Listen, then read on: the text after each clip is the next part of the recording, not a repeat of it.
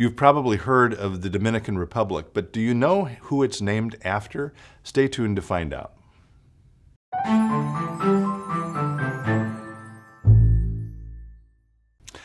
Hello, friends. Pastor Tim Westermeyer here. Thanks for spending a little time with me today. I have in my hand um, the current hymnal that we use at um, St. Philip Deacon. Uh, it's the hymnal of the Lutheran Church called Evangelical Lutheran Worship.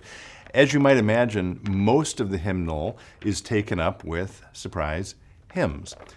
However, if you look in the front of this hymnal, I, I don't assume most of you have this, uh, but in the front of the hymn, there's a, a page that says calendar, which is sort of the main calendar of the church here, and then uh, three or four pages, I guess one, two, three pages, called Lesser Festivals and Commemorations, which is basically uh, festivals commemorating individual Christians who have lived. So on this page, or these pages, for example, are people like Martin Luther King, Martin Luther himself, uh, John Donne, Dietrich Bonhoeffer, a martyr from World War II, Julian of Norwich, a sort of mystic and poet, Seattle, uh, the chief of the Duwamish Confederacy here in, in the uh, United States, um, Johann Sebastian Bach, about whom I said something a couple episodes ago, Florence Nightingale, uh, Francis of Assisi, and a bunch of others.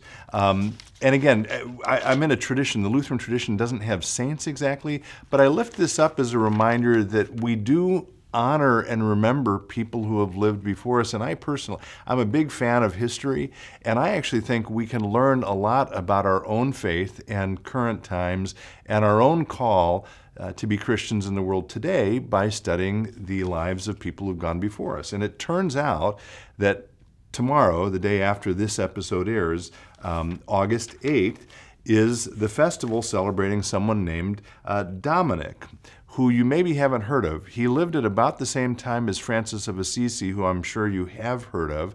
And uh, Assisi established something called the Franciscan Order. And Dominic, who is from Spain, established something that still exists today called the Dominican Order. And um, I'm not going to go into great detail about his life. Uh, you're welcome to look it up uh, and learn more about him. I would say just a few things. One, as a young man, he was he was actually like Francis, very generous. He did have some possessions. He sold them to help the poor. He ended up being ordained as a priest.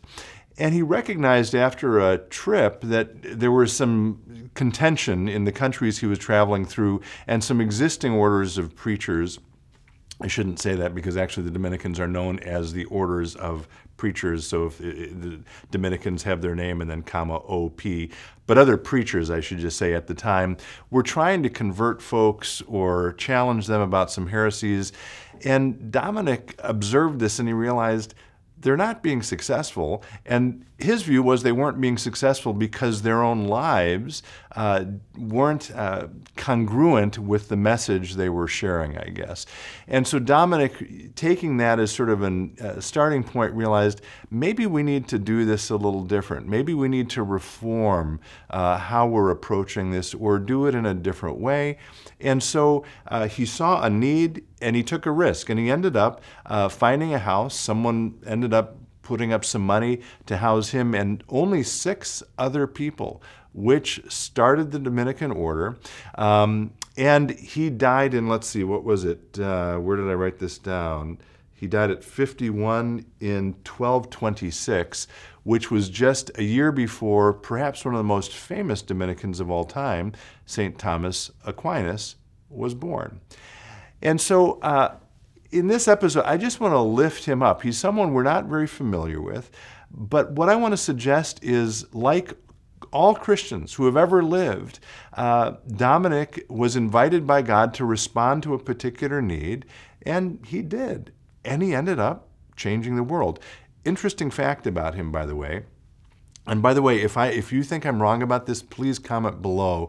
Um, but my understanding is that he is the only person who has, has not a, a single, but has two sovereign nations named after him the Dominican Republic and another island named Dominica, uh, which is an interesting fact. I'm not suggesting that if you follow God's will in your life, you're going to have a nation named after you. That's not the point. And as I said in an earlier episode, one of the things we learn from the lives of people who've gone before us, uh, sometimes called the saints, is that they are radically different from one another. And they responded to God in particular ways that were specific to their own time and place.